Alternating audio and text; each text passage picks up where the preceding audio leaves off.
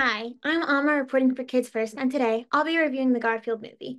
I have always loved all things Garfield, so I was expecting to love the Garfield movie. And I do.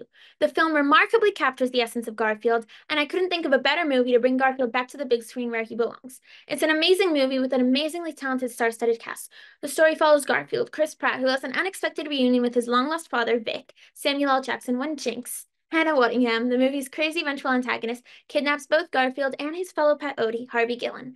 Jinx forces the two of them from their perfect, marred only by Mondays, pampered, luxurious lives into joining Vic in a high stakes heist as revenge against Garfield's father. The plot is tied in with so much humor and so many plot twists, overall making it a fun family comedy. Chris Pratt's voice suits Garfield perfectly, and he brings the right attitude and edge to the character. Samuel L. Jackson wonderfully conveys emotion into Vic, so as a viewer, you really end up feeling for him. And Hannah Waddingham is outstanding as Jinx. She voices Jinx as maniacal and flamboyant, but she also brings heart and soul to her character, making viewers sympathize with Jinx's motivations. Hannah Waddingham has two songs in this movie, an original called I'm Back, which rolls over the end credits, and a rendition of the French nursery rhyme Alouette, Gentille alouette, the latter of the two being my favorite Jinx scene in the film.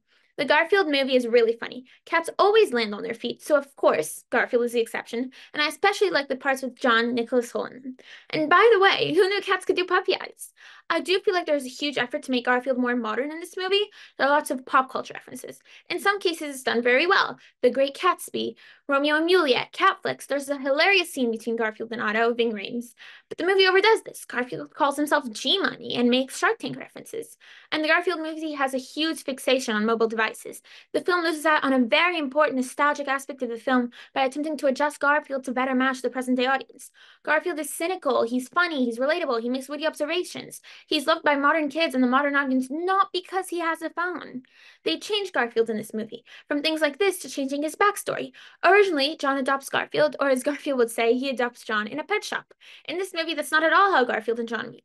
Also, there was never a villain the same way there is in this movie. There was never someone truly evil. That was part of the charm of Garfield. Sure, he had some crazy adventures, but he was always based in real life. Have you ever been kidnapped by a failed America's Next Top Feline who, by the way, is British and then jumped on a moving train and then attempted to steal at least 1,675 quarts of milk for an extremely overprotected dairy farm? No, his adventures were always somewhat relatable.